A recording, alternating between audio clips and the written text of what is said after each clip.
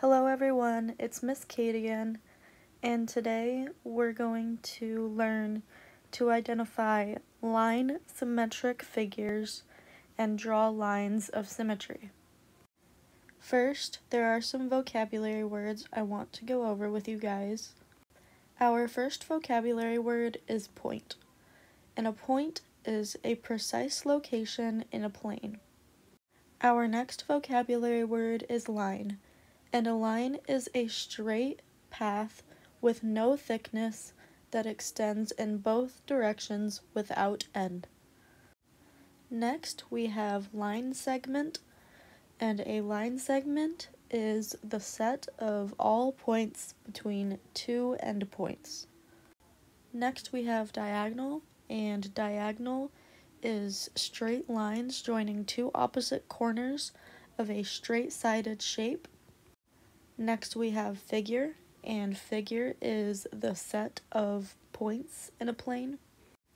Next we have triangle, and a triangle consists of three non-collinear points and the three line segments between them. The three segments are called the sides of the triangle, and the three points are called the vertices. Next we have intersecting lines, and intersecting lines are lines that contain at least one point in common. Next we have vertex, and a vertex is a point often used to refer to the point where two lines meet, such as an angle or the corner of a triangle.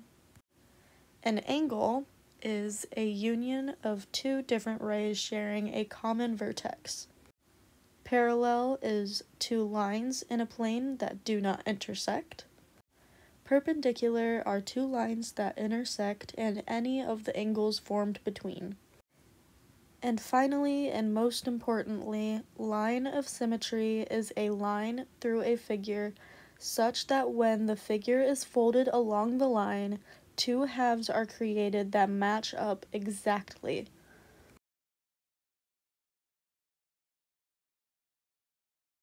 Our first example is this triangular figure that we have three points labeled A, B, and C. And we also have this line of symmetry right here. So what we want to do is draw the other half of this image to show what it would have looked like before folding it across its dotted line of symmetry.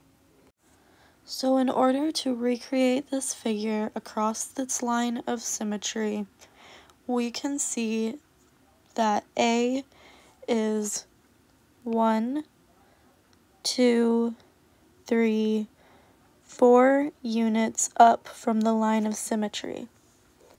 Now we can use this information to count down four units from the line of symmetry to create image A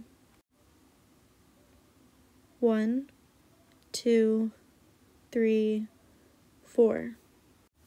Now points B and C actually stay the same because they lie on the line of symmetry. And this is what our completed figure will look like.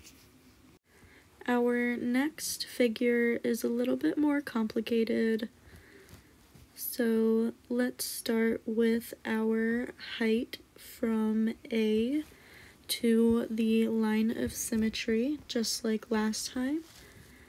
One, two, three, four.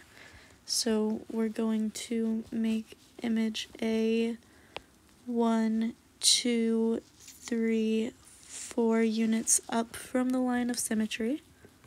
Next we have B, which is one, two, three units down from the line of symmetry. So we'll go one, two, three units up from the line of symmetry. And we have point C, which is one, two, three units down from the line of symmetry. So we'll go one, two, three units up from the line of symmetry. Just like our last figure, point E and D lie along the line of symmetry, so they do not change. And that is our completed figure. Okay, just a couple more examples for you guys to make sure you're getting the hang of it. So our first example, we have pre-image A, which is one, two, three, four units up from the line of symmetry. So of course we need to go down one, two, three, four units from the line of symmetry. And we have point B, which is also four units up from the line of symmetry. So again, we're going to go down four units. And once again, points C and D are not going to change because they lie on the line of symmetry. And this is what our finished image looks like. So for this last example, I would like you guys to try it on your own for about a minute. I don't think it should take much longer than that. And then I will show you what I have to make sure you guys got the same thing.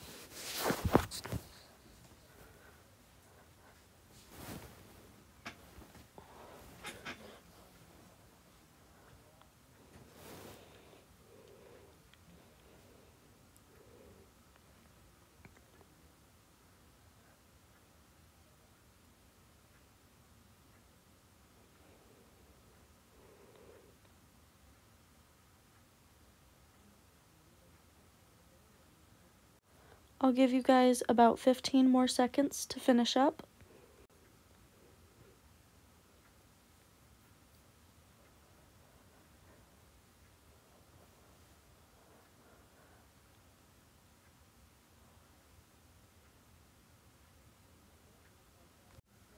Okay, so hopefully this is what everyone got. And if you didn't, please don't be afraid to stay after class today and get some help. I hope you enjoyed today's math lesson. I used Engage New York for the examples as well as the vocabulary.